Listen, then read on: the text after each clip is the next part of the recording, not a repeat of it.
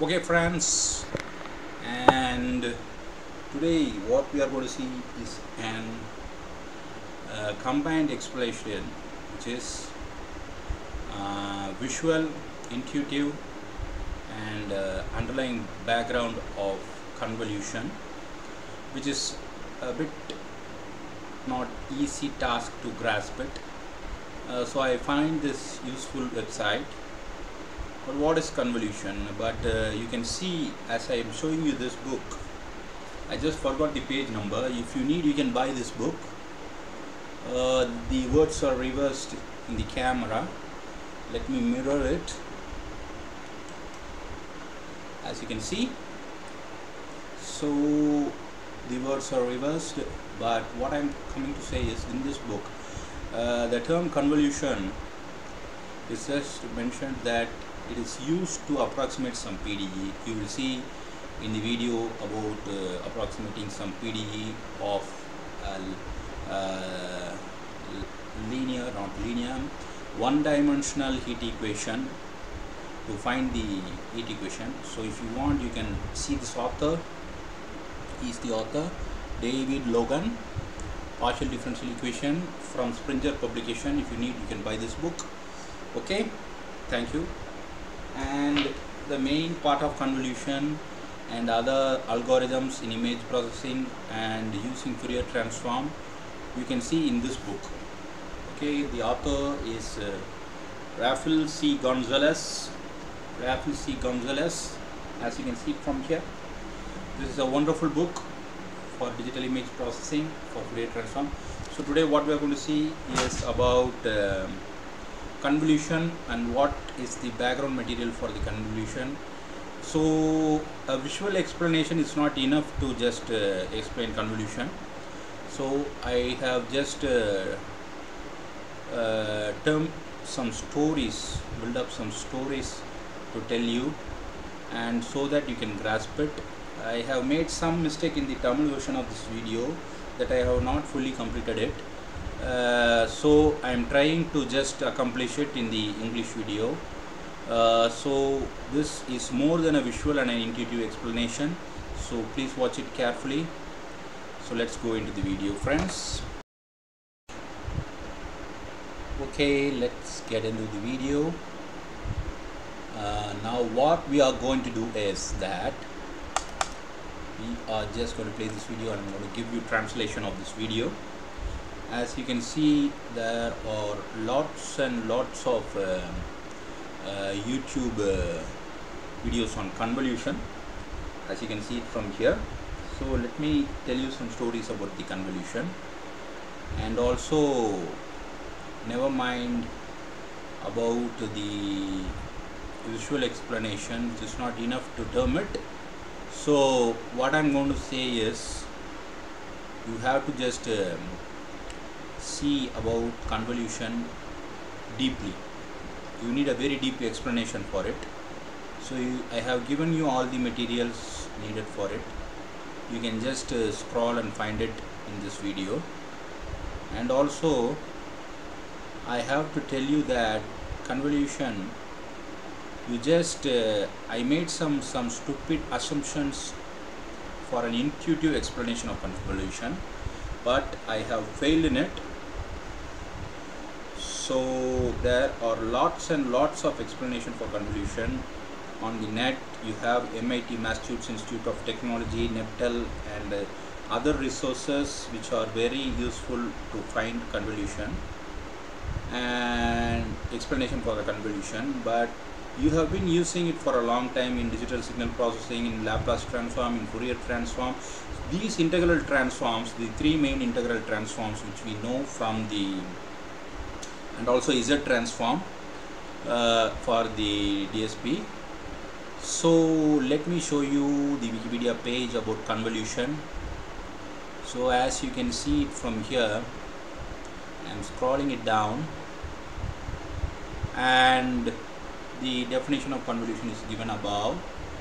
And you can see the integral f of into gt and this tau is a dummy variable and as you can see that is given over here that it is an convolution is just an approximation of two uh, multiplicative functions.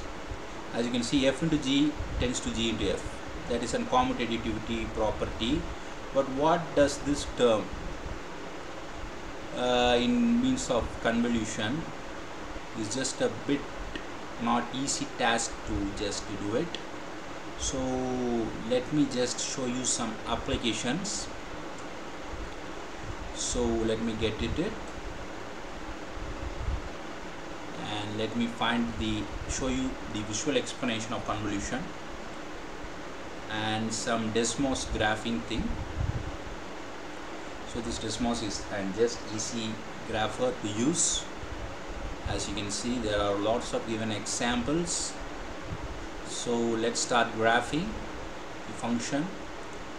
So actually and multiplication means that x squared you have a parabola as it's shown over here. Just watch my pointer. And you have a linear line segment with a slope. We have x so these two functions a math teacher just said me that convolution just connects these two functions but I didn't find it very interesting to do that so. But actual product of these two things are x cube but what happens is in convolution when in time domain when you just do convolution of t squared and t you never get t cube I think so. So this is not a very helpful thing to do. So what I am telling to you is so multiplication of function in the higher dimensions of 3D you have this uh, thing that uh, it will just connect every surfaces and you can just connect the surfaces just by multiplying it. So she was somewhat correct about multiplication but what I have to say you that is the Fourier transform Fourier series animation let me show you. So this is just an nth approximation of a piecewise continuous function or a square wave or thing to be devised. So these just uh, approximates the function just top one is 1 and the down one is 0 1 and 0 it just uh, approximates it. So this convolution does not do connections like Fourier series. It just connects to function 1 and 0 it connects these piecewise functions. But I didn't find this interesting to do so. Uh, so what happens really? What is the background material of it? So 1 is just a constant function. And it does not seem to plot I think so so the next thing about this is that uh, it never connects it. But the thing I have to say you is that there are lots of problem behind it. So let's just uh, the real connection happens when you just do max. Max is a function which connects to function uh, but of course multiplication it connects but uh, convolution is not as easy as to grasp you as you think. So when I just plot this x squared and x give me the function. So let me just uh, switch off those functions above these functions which may show you. So as you can see this linear line is now just connected with this x squared. So this linear line is just connected. Only this function could do so I don't think that convolution gives a new kind of function which is an approximation of an intersection of areas which is overlapping by the two impulsive functions. But what does this impulsive functions means? So if you just bear with me I can just show you some examples. So let me just scroll and find it. So let me just find it friends not over here. And not over here. It's not also over here. So let's just scroll to find it. So not this. And also not this fat guy or lean guy. So let me just find it so it's not over there. So please bear with me. I'm just finding the animation of the convolution I think so. And not this Laplace transform. And let me just if you need you can just forward the video. Please don't be frustrated by my attempts. So let me just find the animation I think so. Wait a sec friends this is the animated visual explanation of convolution as you can see in here. So convolution according to this you have these two impulsive functions. When these are just shifted to the right or left as you can see it is shifted to the right because of the dummy variable tau and you can see the overlapping intersections produce another function which is black in color. The, this function the triangular function is just formed by just intersection of the overlapping areas of the impulsive function. So this also does not just uh, give us a good detail. But what I can say you is, is that uh, the multiplication in the frequency domain is governed by the uh, convolution in the time domain. And the multiplication in the time domain is governed by the uh, convolution in the frequency domain. So but I can just give you an example. I have just made this video for you guys. If I have made some mistakes please do inform me. So let's go into the site I think so.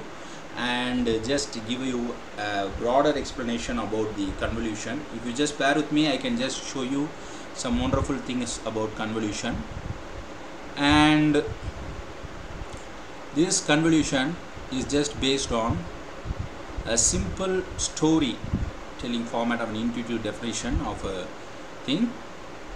So when we just plot x squared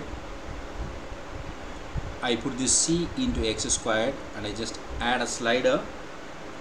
In multiplication what happens is another interesting thing is that you have this family of curves of parabola is that when you just multiply c into x squared you get various parabolas.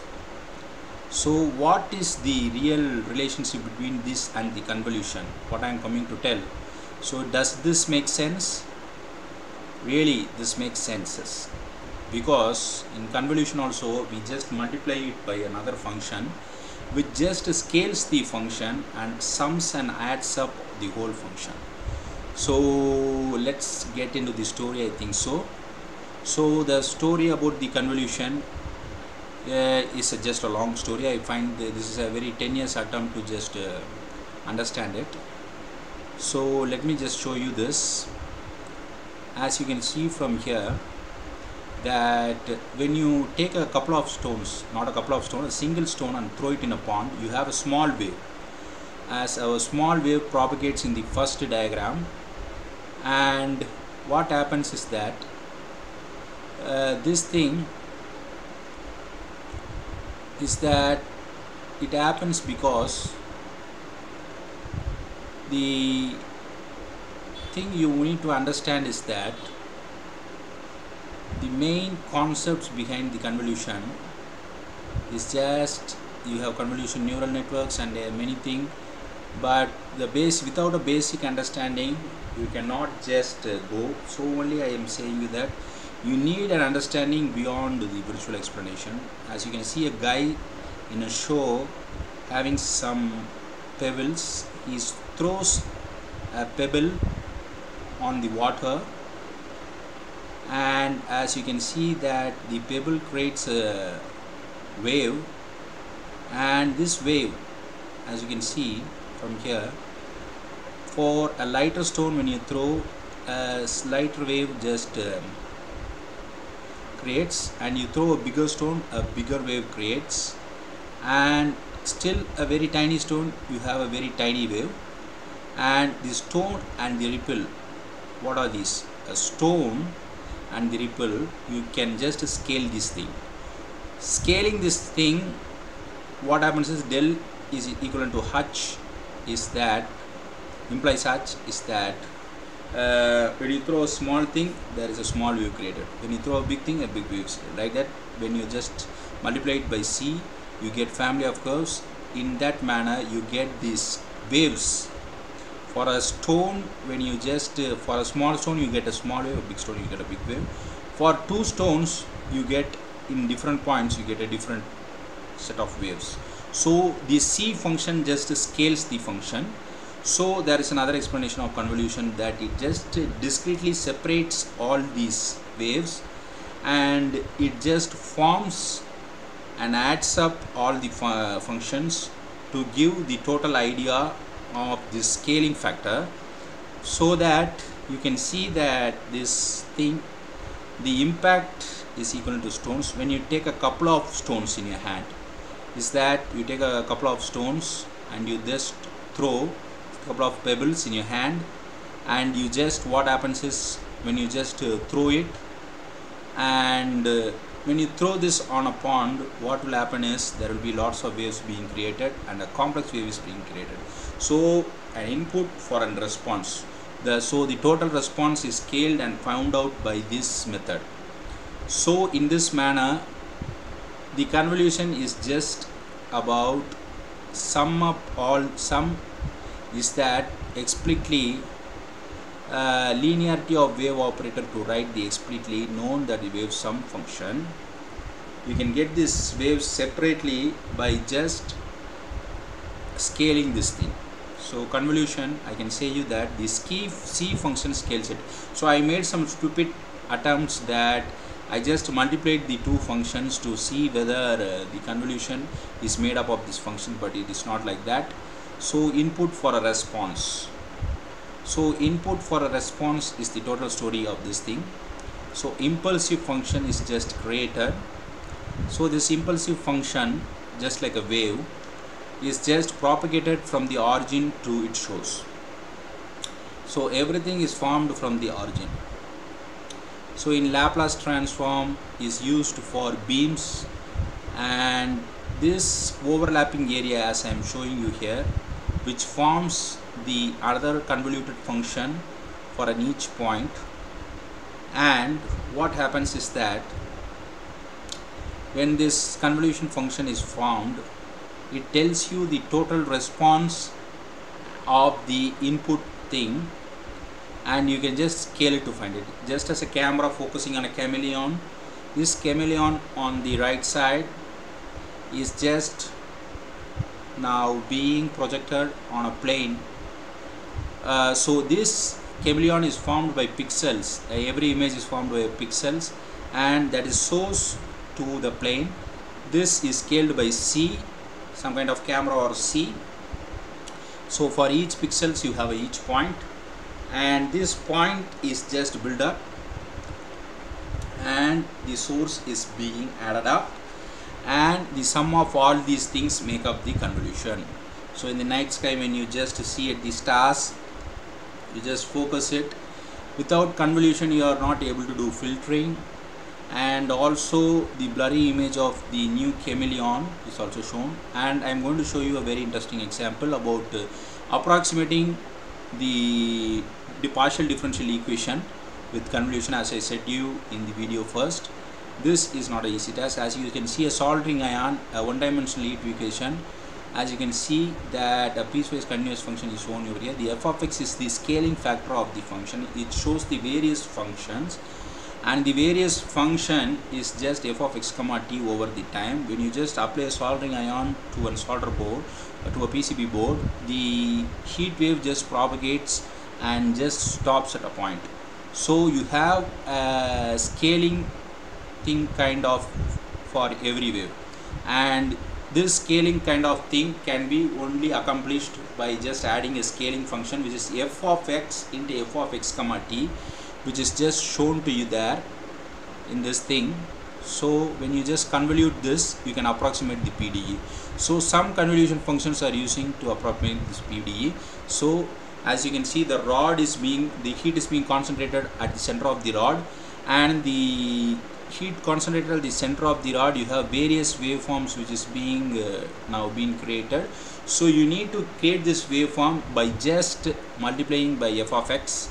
So this can be visually explained to you by just showing you something about this f of x scaling factor uh, in another video not in this video. I let me go to that uh, partial differential equation uh, uh, thing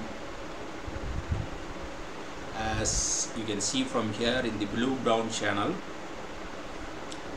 The blue brown channel is one of the good channels for mathematics and other technical stuffs. So blue brown PDE video which gives you and total uh, just uh, um, add going on my screen so this is the Fourier series which can approximate any function as I am showing you this thing. You can see there are various functions and the heat is concentrated at the top of the, this thing. So you can just multiply the f of x into f of x comma t and this curve is just propagated in a manner that it goes beyond the 3D equation so as you can see it just propagates like that. So you need a scaling factor for each point in this wave. So the scaling factor is f of x. So this is a very good example of convolution which is used in approximating partial differential one-dimensional partial differential equations.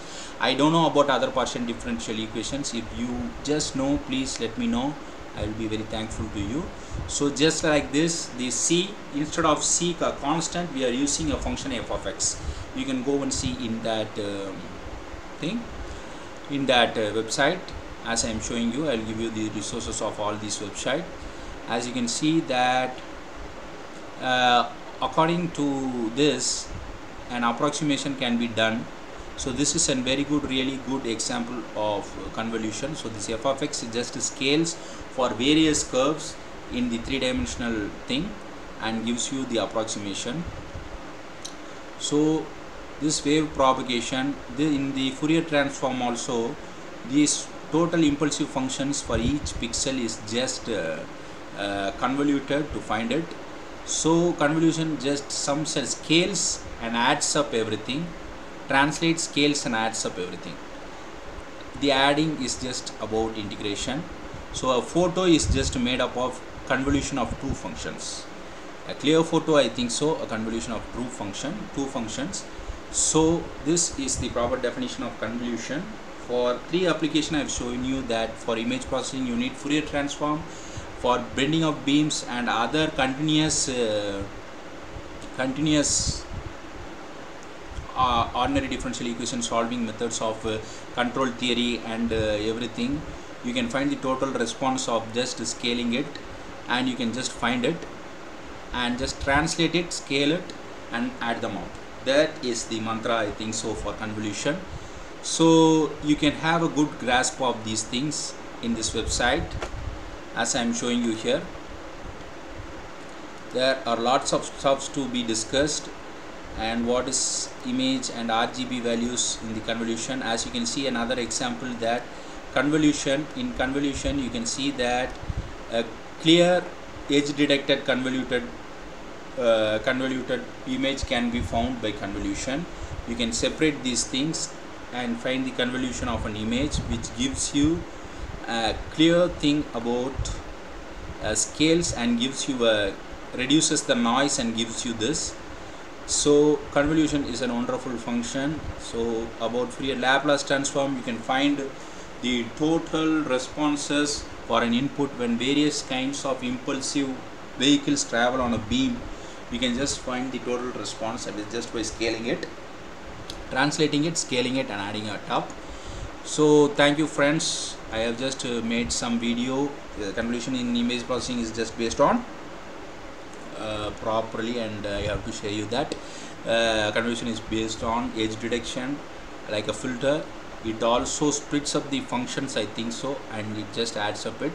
It is used in a various manner and also Fourier transform all the integral transform Radon transform uh, Laplace transform Z transform in Z transform it is used as an scaling factor for various kinds of uh, input and output systems uh, input and output system so please control design in control as I have said you that an input and output is governed by an transfer function. The transfer function you need to scale these things to find uh, the total output response so for an input you need to find the output response. The impulsive response of a convolution can be found in Z transform also. You have a discrete discrete. Z transform is discrete and Laplace transform is continuous. You have to remember it. And you have this x1 of 0 x1 of 2 which gives you x3 and this x3 is about 16 uh, which gives you another convoluted function. This convoluted function is given over here. I have given you many sources out there to just find it out. So please go and visit all these websites and the resources I have provided you. So I am just uh, very happy to discuss you with this guys. If there are some mistakes please bear the things I have talked. Please discuss about this video. Share like and uh, hit the bell icon and this is a wonderful website. And you have many things about divergence engineering application of complex numbers Fourier analysis miscellaneous convolution geometric series visually explained. And you have many things over here. So please do like share and subscribe. We have reached 4000 hours in our video. So thank you friends for this uh, wonderful opportunity to explain it. And let me know know whether it is a negative component negative comment or a positive comment please share your ideas with me i may this is a way not a very easy task I have just uh, been struggling to understand this for 10 years. I have made some accomplish accomplishment in this uh, of understanding it and trying to make you people understand.